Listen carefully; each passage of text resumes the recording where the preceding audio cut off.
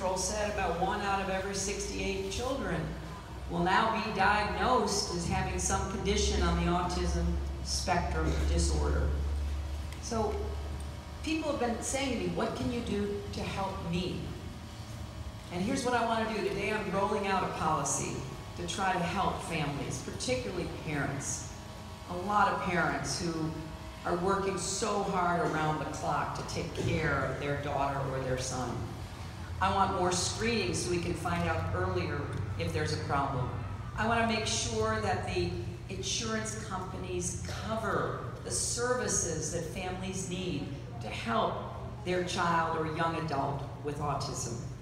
I want to be sure we have the services that people need as they get older. I was in Cedar Rapids yesterday and a man raised his hand. I called on him and he said to me, What can you do to help me? I'm on the autism spectrum. And I said, Well, you're doing really well. He goes, Yeah, I'm doing really well, but I worry about what will happen when my mom's gone because she takes care of me and I take care of her. So we need more services, we need more support, we need to make sure that families dealing with autism, the caregiving that you are providing is respected and supported. I feel the same way about Alzheimer's. Alzheimer's is the sixth leading cause of death in our country.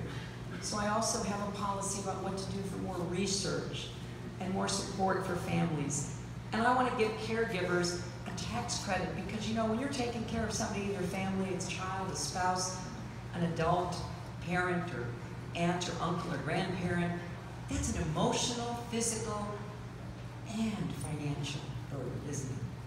So we need to do more to help each other.